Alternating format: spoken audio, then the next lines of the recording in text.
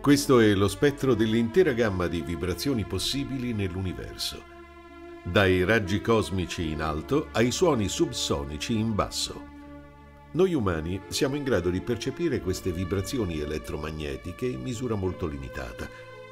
La luce per noi visibile, fra l'infrarosso e l'ultravioletto, è ristretta ai sette colori dell'arcobaleno, misurabili come lunghezza d'onda tra i 380 e i 760 nanometri e come frequenza tra i 385 e i 770 terahertz. Ogni colore dell'iride vibra a una specifica frequenza misurabile. Anche i suoni udibili dall'orecchio umano, musica, parole, suoni naturali, sono confinati a una gamma ristretta che va dai 20 ai 20.000 Hz.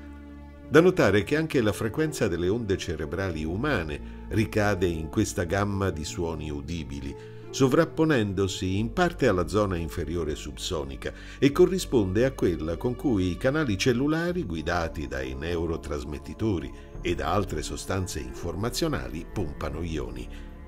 I vari recettori delle nostre cellule vibrano dunque a queste frequenze armoniche più elevate.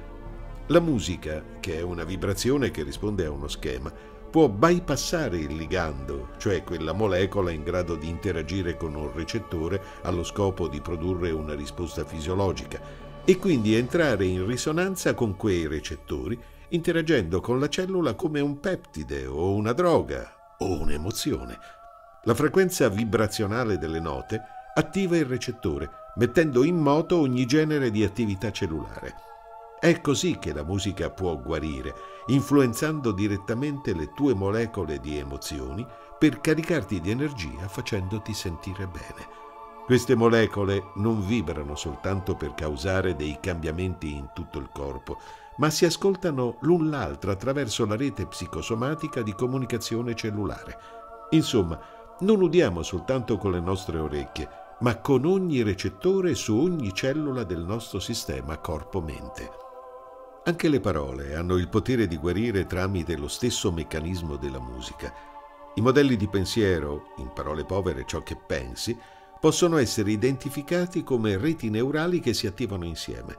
La soglia di attivazione di una cellula cerebrale dipende dal grado di sensibilità delle molte migliaia di recettori sulla sua superficie che compongono i canali di entrata e di uscita della cellula.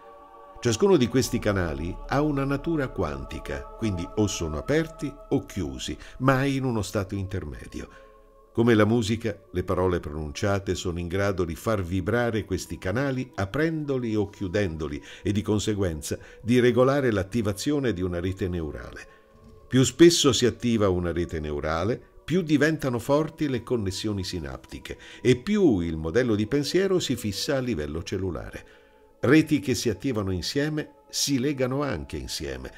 Non solo i neuroni, ma tutte le cellule hanno canali ionici e proprietà elettriche. Così lo schema di pensiero condiziona in maniera estesa tutta la rete psicosomatica del sistema corpo-mente.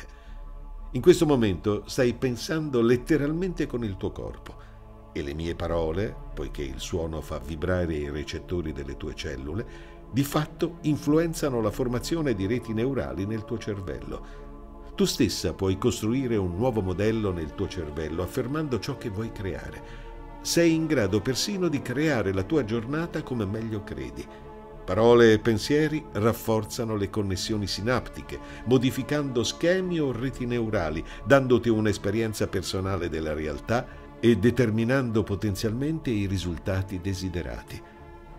Insomma, le parole che pronunci, positive o negative, hanno il potere di creare una realtà, che tu lo voglia o meno.